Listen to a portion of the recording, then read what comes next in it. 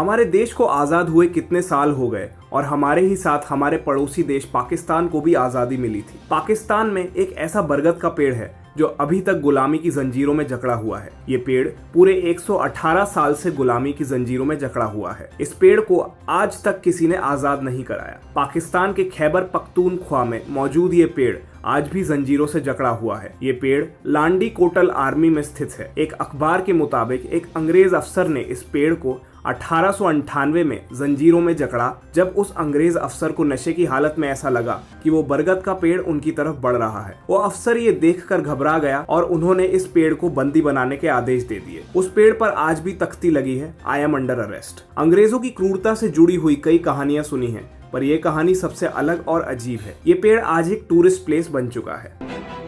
देश और विदेश की हर तरह की न्यूज़ को हिंदी में सबसे पहले देखने के लिए हमारे चैनल लोकमत न्यूज़ हिंदी को सब्सक्राइब करना ना भूले।